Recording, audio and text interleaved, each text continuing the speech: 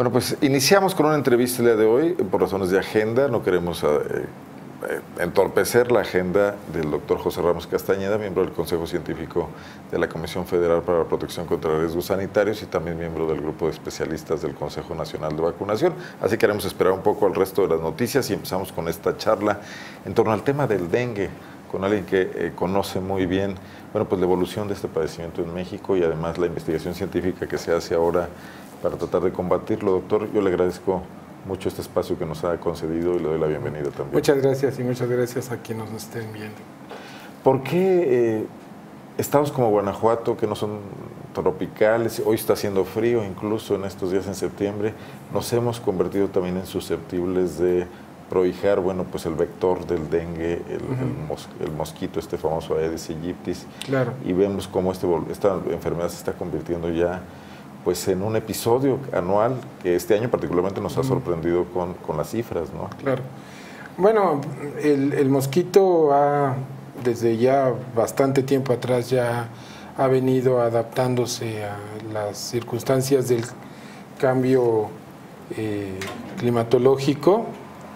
Eh, ya ahora, perdón, se pueden encontrar mosquitos aedes por encima de los 1800 metros, que esa antes era la barrera ecológica que no pasaba el mosquito, ahora ya, ya pasan, este, el, planeta se está calentando y, es, eh, digamos, una consecuencia de, este calentamiento que, insectos como el mosquito pues tengan, em, digamos, un hábitat, eh, eh, digamos, propio más arriba de lo que se está se, pensaba anteriormente. Y eso todas las demás circunstancias ecológicas, ¿no?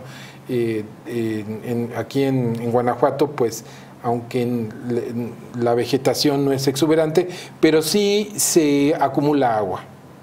Y ese es el punto de, los mosquitos.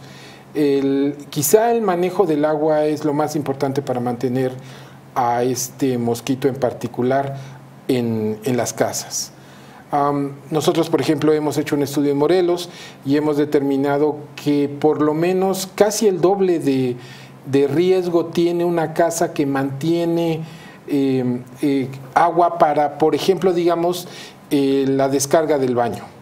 Entonces, no, no, mm, e, estas casas donde no hay una descarga de baño de, eh, por, por, está cubierta. Por, por un, un váter. El agua que se le pone a los perros también podría funcionar. Podría funcionar, aunque en mucho menor medida. Sí, también medimos este, eh, reservorios para animales, agua para animales.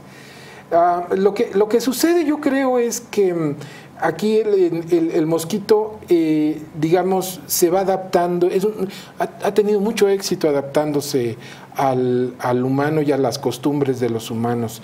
Eh, el, mosquito viaja con, con, el, con el, humano. Eh, digamos que antes, eh, en los 40, cuando la erradicación de la fiebre amarilla y el paludismo, las comunicaciones no eran tan fluidas. Ahora estamos en una situación en la que pues no sé, en, horas estamos de un extremo al otro del país, no se diga las, dentro de un estado. Y, las vacaciones hacen que... Así que sí, creemos que eh, entre estas situaciones de la comunicación, de la mejora en la situación, eh, digamos, eh, de servicios municipales, dije mejora, no dije óptima, óptimos servicios municipales. La, mejora cuando hay agua y ya hay agua para almacenar. Entonces ahí es donde em, empiezan los problemas con los mosquitos. Ahora bien, eh, entidades que mostraron altos índices de dengue en el pasado, eh, las vemos hoy más controladas y otras que no lo han mostrado, es Nuevo León o Guanajuato, están mostrando un comportamiento diferente. ¿Esto a qué se debe? Mire, esa es una cuestión un poco aparente. ¿Eh? Todos los que hemos estudiado dengue, y yo he estudiado dengue por 30 años, este, sabemos que la dinámica de la transmisión del dengue siempre es eh, recurrente. Tenemos eh, picos de muy alta transmisión, este, nacionalmente, digamos, tenemos picos de más de 50 mil casos al año y tenemos valles donde la transmisión del dengue pues no es eh, algo este, importante, ¿no? Estaremos hablando de eh, 5 mil, 10 mil casos, ¿no? El asunto aquí es que cuando hablamos de, de la transmisión, transmisión, tenemos que involucrar muchas variables variables desde luego ecológicas que tienen que ver con el mosquito, variables de, digamos, la cantidad de agua que se mantiene durante el tiempo, por ejemplo, en, épocas donde hay este, huracanes y esto que se llega a acumular mucha agua, hay que considerar eso, en fin, hay Estoy dando este, algunos de los ejemplos, pero son realmente bastante las variables. ¿Y qué consecuencia tiene eso? Bueno, esto que usted me está diciendo, precisamente, cuando se eh, confluyen todas estas variables para que se dé un brote de dengue, sucede primero en, en Yucatán, luego en Oaxaca, luego en Chiapas, luego en Guanajuato. O sea, la transmisión del dengue en general no es una cosa, eh, eh, digamos, homogénea en el país. obedece mucho a, cuestiones regionales. Bueno, eh, el tema de fumigar o no fumigar, o sea, por años escuchamos una polémica donde los ambientalistas se quejaban de que la fumigación puede estar afectando a otras especies, puede ser dañina para los seres humanos. Aquí mismo tuvimos especialistas que hablaban de que las dosis salud pública de, estos tipos de sustancias no eran dañinas, eh, etcétera. Pero este año vemos que se disminuyó el, presupuesto para fumigación y que de alguna manera, bueno, pues tenemos una epidemia de dengue hoy en Guanajuato. Y vemos a la gente pidiendo la fumigación. Y, bueno, pues escuchábamos al vocero del dengue, en este caso el doctor Juan Luis Mosqueda, que decía, la fumigación ya no va a servir a estas alturas, entendible pero están fumigando, los hemos encontrado en la calle fumigando. Como que hay respuestas que tienen que ver un poco con, una cuestión políticamente correcta, ¿no? Hay, ¿Cuáles los estudiosos que aconsejan? Bueno, eh, lo primero que hay que decir es de que y, he hecho una extensa este, revisión bibliográfica eh, básicamente no hay un estudio que, respalde el impacto de las medidas eh, contra el vector en la incidencia de dengue. O sea, sí pueden bajar los, los índices vectoriales, pero el número de casos ese o no baja o ya estaba bajando por otras circunstancias. Esta es una situación que no es solo de México y ni siquiera eh, tiene que ver con una cuestión política, es una cuestión eh, internacional. En todos los lugares donde hay dengue es la misma historia, se fumiga, se nebuliza y bajan los mosquitos. No sabemos si bajan los casos. Los, los casos, los Entonces, la primera cosa que hay que decir es que no, no sabemos realmente con un estudio científicamente robusto si hay una, este, un, efecto, una eficacia comprobada de estos métodos en la transmisión del dengue. Ahora, eso no quiere decir que no la, no la haya. Eh, cuando, cuando digo que no hay científicamente comprobado, es que no hay un estudio hecho robusto y, validado, validado que, que lo demuestre. Ahora, yo creo que hay muchos países que han tomado la actitud de no fumigar. Por ejemplo, Colombia. Colombia ya no fumiga. Y no fumiga por una, por una razón. Primero, hay resistencia de mosquitos y hay que estar evaluando la resistencia de mosquitos. Y dos, en realidad no tiene evidencia de que haya algún impacto. Eh, este, tengo entendido que la Secretaría de Salud está haciendo un esfuerzo muy grande por evaluar la resistencia de los, a los insecticidas de los no mosquitos. Es dinero bueno o malo. Exactamente, exactamente, porque si no tiene ningún, ya los mosquitos son resistentes, no tiene ningún caso fumigar. Esto lo, lo que hace es hacerlo más complejo. O sea, decidir si se fumiga o no es, digamos, una situación básicamente, desde mi punto de vista, de presión social. O sea, sí, hay que fumigar. Pero ¿qué tal que se fumiga más adentro de las casas? Porque este mosquito es más de casa.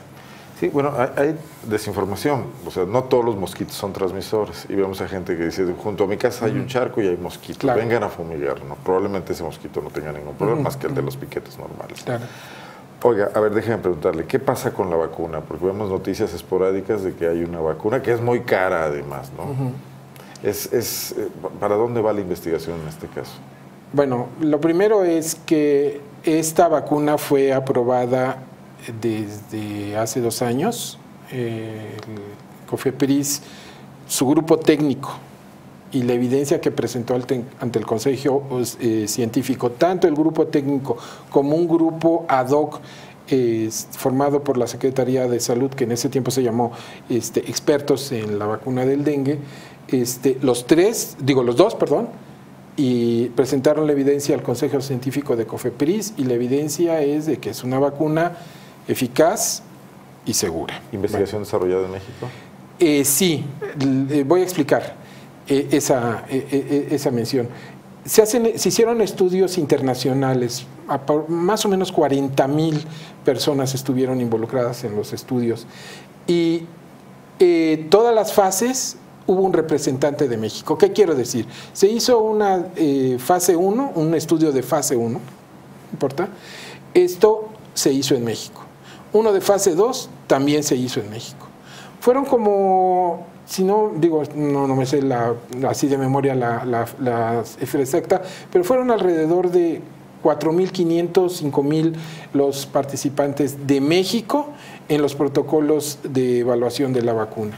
Esa es una de las razones por las que COFEPRIS fue, digamos, para nosotros fue muy, muy este, eh, eh, convincente la, la, evidencia, porque no estábamos hablando de lo que pasara en Brasil o en Puerto Rico, estábamos hablando de lo que pasaba en México. Entonces, México estuvo eh, involucrado. Y esta vacuna este, mostró, como digo, seguridad y, este, y eficacia. Después de esa eh, autorización sanitaria, eh, pasó se, realizó un proceso de elaboración de una política pública que entonces recogió el Consejo Nacional de, Vacunación. Eso fue el año pasado. Eh, el año pasado el Consejo Nacional de Vacunación emitió una este, eh, sugerencia de cómo aplicar esta vacuna como política pública. Entonces, ahorita en el, en el, en el eh, estado en el que estamos es que es una eh, vacuna que está analizándose integrarse al eh, cuadro básico. El Consejo Nacional de Vacunación y la Sociedad Mexicana de Salud Pública y la Organización del Mundial de la Salud son ejemplos de de agencias que han este, eh, recomendado la vacunación. Desde luego la vacunación, desde el punto de vista de COFEPRIS y, y, de los que hemos evaluado la vacuna, no puede ser en cualquier lugar, tiene que ser en lugares eh, donde haya verdadera transmisión del dengue, por dos razones. Una, porque los costos, a la hora de hacer el análisis costo-beneficio, pues donde realmente vale la pena vacunar o donde valdría la pena vacunar de manera pública con un programa público es donde hay dengue. O sea, si me dice el Distrito Federal, pues no, allí para qué vacunamos, ¿no? ¿Por qué es tan cara? Estábamos hablando de, bueno, yo no sé, dólares la toma, algo así. Ah, así pues y le soy absolutamente franco, yo desconozco el, el precio, pero He oído que es, cara, pero yo lo que digo es, bueno, en primer lugar, hay que considerar que un caso de dengue, eh, eh, un caso de dengue clásico... Lo haría prohibitivo para el sistema de salud pública. Pero fíjese, un caso de dengue clásico, en un estudio que realizó la UNAM recientemente publicado, calculó en 6 mil pesos el caso de dengue, entre todos los gastos que, que se emplean para el caso de dengue. Y el caso de dengue grave, como 40 mil. Yo creo que la vacuna evita ambos. es mucho mejor para la para el dengue grave que para el dengue en general. Es, es adecuado para el dengue, eh, en general son 65% de eficacia, pero para el dengue eh, grave es 90% de eficacia. Ahora, tenemos el fenómeno que decimos, bueno, pues quizás mil casos en el Estado, eh, confirmados, pero esto genera una paranoia, pues la gente va a decir, yo no quiero que me dé dengue, conozco a alguien que le dio, sé que estuvo tumbado en su casa y le dolía todo el cuerpo. Eh, y también hay un esquema comercial aquí, ¿cómo, cómo manejar el asunto de una ética en el, manejo de, este tipo de soluciones a problemas y que no todo el mundo tengamos que claro. volvernos susceptibles a ser clientes de ponernos una vacuna porque tenemos temor, ¿no?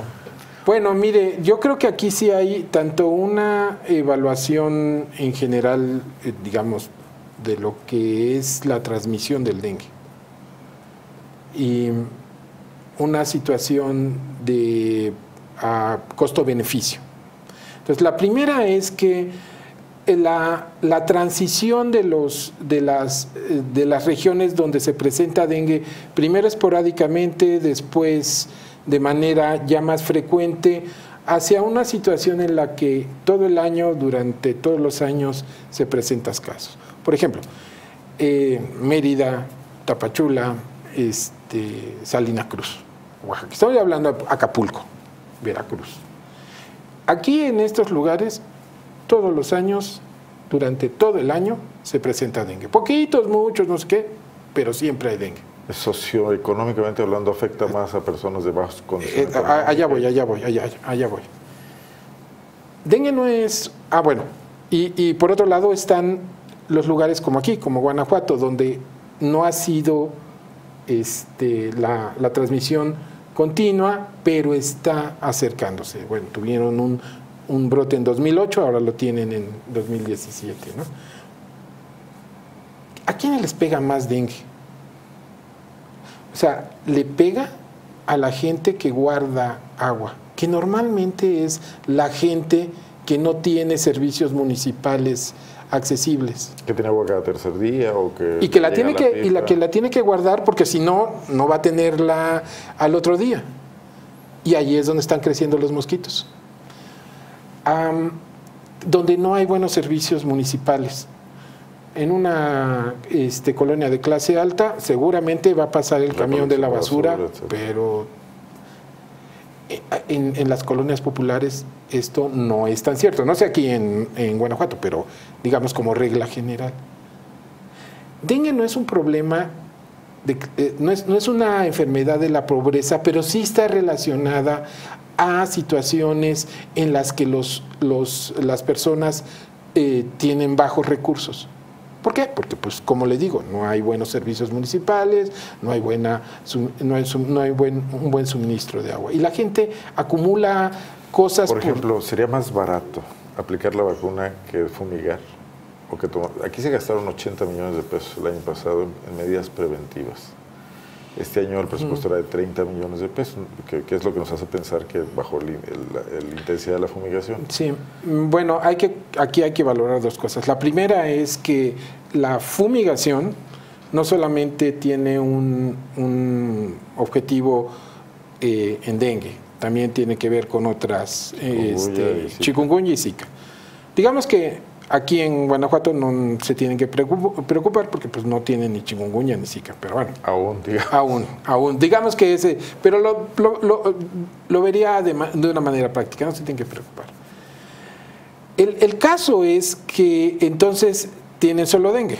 Bueno, la situación más, eh, digamos, eh, inteligente, lo que recomienda la Organización Mundial de la Salud, la Organización Panamericana de Salud, es tener un programa, eh, digamos, integrado. Mixto. Tener eh, control del, vector y vacunación, este, educación para la salud, en fin, ese es el, el programa que la Organización Mundial de la Salud la Organización Panamericana de Salud están promoviendo. Y yo creo que es inteligente. O sea, no se puede reemplazar una cosa por la otra. ¿Quienes lo han adquirido una vez quedan inmunes? Bueno, eh, digamos que sí. Hay que recordar que, que, dengue tiene cuatro tipos. Es así, uno, dos, tres y cuatro. Entonces, eh, son una persona es infectada por uno de ellos, entonces para ese tipo quedará inmune. Y digamos que yo lo digo que sí, porque todavía estamos haciendo estudios. La comunidad científica todavía estamos eh, debatiéndonos en qué tanta protección es la que adquiere una persona al enfrentarse con dengue. De los cuatro, usted hace rato mencionó el dengue clásico y el dengue grave. Entonces, ¿habría otros dos o, tiene que ver no, con esos dos nada más? No, no, no. Los cuatro tipos, son cuatro tipos, así se conocen, dengue 1, 2, 3 y 4. Los cuatro tipos pueden generar cualquiera de los, de los tipos clínicos, ya sea un dengue sin complicaciones o un dengue grave. Pues sí tenemos que aprender mucho sobre el dengue, doctor. Finalmente, estaba escuchando eh, que la vacuna es hasta cierta edad. Se recomienda hasta los 45 años. Sí, bueno, no, no, no es... No es exactamente. O sea, esa es la indicación que COFEPRIS emitió en la etiqueta. Todos los, los, este, los fármacos, incluyendo las vacunas, tienen una etiqueta y esa etiqueta dice a quién se les puede poner, cuáles son las precauciones que han de tener, en fin, toda la información necesaria para poderla administrar de manera correcta. La evidencia que se tenía hasta la fecha de que se hizo la decisión de tomar, de, autorizar la vacuna, fue 45 años, porque es hasta, hasta lo que teníamos de, de evidencia científica. Los estudios llegaban a personas de 45 años. Pero Entonces, es susceptible de, eh, Sí, no, desde luego, o sea, de sufrir dengue. Y bueno, nosotros tenemos unos estudios que, que demuestran que en la etapa ya adulta, mayores de 60 años, se infectan tanto, tan frecuentemente como los más jóvenes. Es como una, como una campana de dos, de dos picos la transmisión del dengue a lo largo de los años. Entonces, sí puede haber este, eh, infección después de los 45 años. Lo que pasa con la indicación de la vacuna es que no se tenía eh, información sobre la, qué pasaba después de los 45 años en cuestión de seguridad. Tengo entendido que hay estudios que, la compañía está, la compañía de este, Sanofi Pasteur está realizando estudios aquí en México para ampliar el, el, este, la indicación de edad. Entonces, si entrar al cuadro básico, que es algo que me dice que está en este momento en estudio, eh, la tendría que comprar el gobierno la tendría que comprar el gobierno, de hecho, y, creo que eso fue una de las cosas más remarcables que se puede decir de este año en cuestión de salud pública, ya es una cuestión de ley la vacunación. Antes tenía la Secretaría de Salud que andar buscando dinero para algún, algún lugar para comprar las vacunas que se aplican en las semanas eh, de vacunación, en, fin. por cierto, este año hubo escasez de, la, triple. Sí, sí, sí, pero eso es, eso es cosa de, la, es, es, así de las empresas, para que vea. Este, lo que hay ya como una cuestión de ley aprobada en el Congreso es que la vacunación tenga sus propios recursos y sea una obligación por parte de la Secretaría de Salud. Entonces, sí, efectivamente, una vez... estamos sobrecargando mucho al, Seguro Popular con costos. Ya no atienden, por ejemplo, enfermedades catastróficas y, esto es... Eh, pues, Mire, yo, le, yo, le, yo, yo por ahí oí un, un dato. Este, por cada dólar, esto fue en dólares, por cada dólar que se invierte en vacunación, en gastos relacionados a las enfermedades prevenibles de vacunación se ahorran como 300 dólares. Un esquema de política pública. O sea, si yo voy a invertir un dólar y me quito 300... Suena lógico. Suena lógico, ¿no? Oiga, pues eh, me gustaría mucho seguir platicando con usted si estos episodios se siguen presentando en León. ¿Usted qué prevé? ¿Que después de este pico eh, habrá.? Yo creo que, yo, yo creo que el próximo año, yo, digo, nadie tiene bolita máquina. el frío sí, sí, sí. Esto en noviembre o, a más tardar en diciembre, enero va a disminuir pues ya estamos como foco rojo en el mapa nacional. Sí, sí, eso sí. Es, eh, hasta donde yo vi las, las estadísticas la semana pasada, sí ustedes andan en el primer lugar. Pero déjeme decirle que muy probablemente el próximo año venga una disminución en el, en el número de casos. Eso es lo más probable que pase. Puede pasar también que siga eh, intenso el brote, pero digamos que lo, que se observa, eh, haga, se haga lo que se haga, es que van a disminuir. Sin embargo, el problema no es ese. O sea, el problema es que con el tiempo Guanajuato se vuelve una zona endémica, y de endémica a hiperendémica. Los vimos en la presentación de la vacuna en Mérida, a usted y al doctor Juan Luis Mosqueda. ¿Ustedes acuden ahí como, como que como invitados, como integrantes? Bueno, yo, yo fui en, mi calidad de virólogo, científico, yo trabajo en el Instituto Nacional de Salud Pública y como le digo, tengo 30 años trabajando como que este, dengue eh, y por esa razón he sido incluido en los comités que que me han, este, eh, en los que he, participado.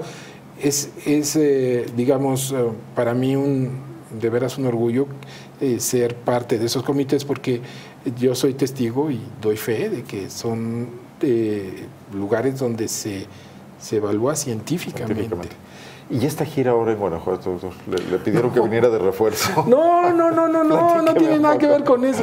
Digo, si lo puedo decir aquí, es fue una cosa familiar. La, la, la, la, designación de Juan Luis Mosqueda como vocero también fue un poco eh, sorpresiva, ¿no? Cuando surgió el brote. Sí, mire, le voy a, le voy a explicar, este, fue una cosa muy, muy simpática porque este, eh, yo iba a venir a ver a mi familia pasar el 15 aquí. ¿Son aquí originarios? Eh, viven, no, ellos son del Distrito Federal, pero ya desde hace muchos años viven aquí. Y una alumna mía, este, que por cierto no estaba buscando trabajo, este, una alumna mía eh, tuiteó, digo, este, puso en Face una serie, ella es médico, una serie de, de, de recomendaciones y de observaciones para la gente que le estaba preguntando. Y eso se difundió mucho. Entonces alguien le dijo a, una de mis eh, cuñadas, oye, está interesante esto. Y entonces me invitaron a dar una plática en la escuela donde mi cuñada es eh, subdirectora. Y luego en la compañía se vieron este, este face de que estaba compartido y me dijeron, oye, ¿y, por qué no este, nos puedes ir a, a este, a a platicar con la gente que quiera. Este, no, es que ya voy a ir a platicar. Bueno, la información nunca sale sobrando, nos pareció muy interesante platicar con usted. También, bueno, desde luego hemos sido críticos, creemos que, que, que, la Secretaría fue tomada por sorpresa, al igual que muchos, la Secretaría de Salud de Guanajuato, pero aquí lo más importante es la salud de los guanajuatenses y ponernos las pilas todos. Yo creo, y eso es algo importante, lo dije en la mañana en esta este, conferencia que tuve y lo digo otra vez, independientemente de la vacuna, y de todas las cuestiones que haya. En este momento lo importante es que laven, tapen, tiren y este y no en otras eh, comunidades que ya tienen más tiempo y que han padecido más fuerte el, dengue, y a otras enfermedades también asociadas como es Zika. ¿Ha, logrado cambiar la mentalidad? O sea, ¿la gente se está poniendo las pilas o es muy complicado? Es muy complicado. Mire, nosotros trabajamos en un lugar que las personas han sido maravillosas cooperando con la investigación científica. Pero lo que puedo decir es que no cambian sus, sus, estilos de vida tan fácilmente. Nosotros no hemos hecho abordajes antropológicos, por ejemplo, siempre ha sido eh, enfoques epidemiológicos. Es bien difícil cambiar a la, la, O sea, decirle a una persona, mira, eso es un cacharro, muy difícil. Yo le diría que también con políticas públicas que generan eh, publicidad episódica es muy complicado. A lo mejor hay que estar desde las escuelas, ¿no? Pues fíjese que eh, hay, yo creo que eso es de lo que más hay de investigación de campo operativa y sí, el problema es la sustentabilidad. El primer año, entran, el primer año se recuerda todo, los niños hacen una cosa maravillosa y después... Venía en la carretera y me encontré tres o cuatro espectaculares con el tema del dengue. Lo primero que pensé, dije, esto va a aumentar el pánico. Ya de boca en boca todo el mundo conocemos a alguien. Ahora nuestra este, asistenta aquí eh, de labores domésticas le dio dengue. Entonces escucha uno que alguien cercano y ve los espectaculares y dice, pues sí hay una epidemia, ¿no? sí. Bueno, es un poco tardío. Digamos que hay que hacer un balance porque desde el punto de vista de salud pública sí hay que tener, como usted dice, una política de, de, difusión muy clara. Primero para no este, escandalizar ni hacer de esto una histeria, pero por otro lado para que la gente vaya al, al médico, porque la posibilidad que tiene una persona de infectar a los que vivan a su alrededor es tres veces mayor que, que en cualquier otro lado. O sea, la casa de un enfermo se vuelve un foco, pero por el propio vector, ella infecta un Exactamente. Pero el vecino todavía tiene 1.8 veces más posibilidades de infectarse que cualquier otra persona. Aquí se da el caso de cuadras completas. Exactamente, ese es el punto. Entonces, desde el punto de vista de salud pública, sí hay que eh, llamar la atención en que se tiene que controlar al vector. Eso definitivamente. Muchísimas gracias, de verdad, por el diálogo y por la apertura a tocar todos estos temas. El doctor José Ramos Castañeda es miembro del Consejo Científico de la COFEPRIS, la Comisión Federal para la Protección de contra Riesgos Sanitarios, y también del Grupo de Especialistas del Consejo Nacional de Vacunación. Bueno, pues seguiremos. Por cierto, ¿La vacuna se consigue? ¿Está accesible en este momento? Bueno, eh, solo es privada en este momento. Tengo entendido que la distribución es privada. O sea, la pueden encontrar con... Los médicos. Sí, no, no, todos los médicos están autorizados porque tienen que ser evaluados en lo que se llama cadena de frío, porque estas vacunas, como cualquier otra, es este lábil al calor. Y es cara. Yo, se lo digo porque ya le pregunté a algunos médicos. Bueno, muchísimas gracias. Vamos a una pausa, continuamos.